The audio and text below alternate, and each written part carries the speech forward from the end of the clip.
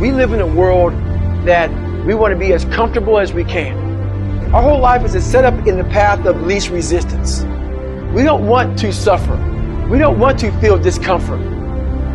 We need to embrace the fact that it's hard, not avoid it. You got to fortify yourself and say, come on with it. It's hard, then handle it. I've got to step into it. Take a stand. Anybody, it takes courage to live, ladies and gentlemen. You're going to be faced with a series of, of, of opposition, all kind of obstacles in your path. Yes, all kind of hurdles you're going to have to overcome. But as you do that, the harder the battle, the sweeter the victory. As you do that, as you go through that, when you come through, ladies and gentlemen, when you come through that valley, when you come through that fight, there'll be a look in your eyes that everybody will know this is a different person here.